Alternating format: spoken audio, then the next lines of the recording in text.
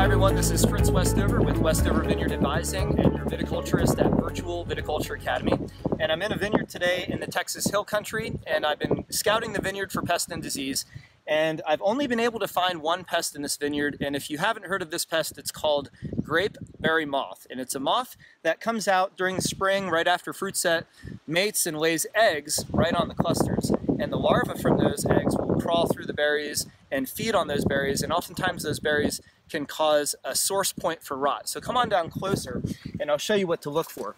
If you're going through your vineyard and you see that you've got you know anywhere from pea size to um, Veraison size berries and you find a berry that's prematurely discolored, look closer because you might find that there's actually another berry attached to it. And when you have those berries attached, that's actually a sign that the larva was tunneling out and feeding on this berry.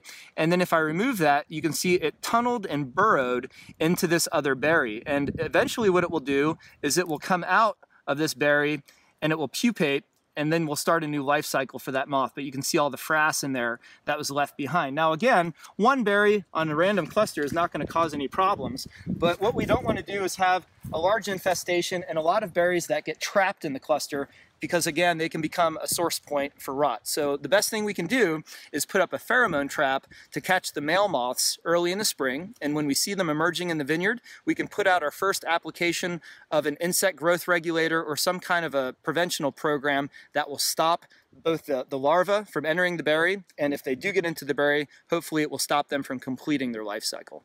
Usually one to two sprays a year is all that's needed, and I have more information on this at virtualviticultureacademy.com on some of my grower guides that you're welcome to take a look at.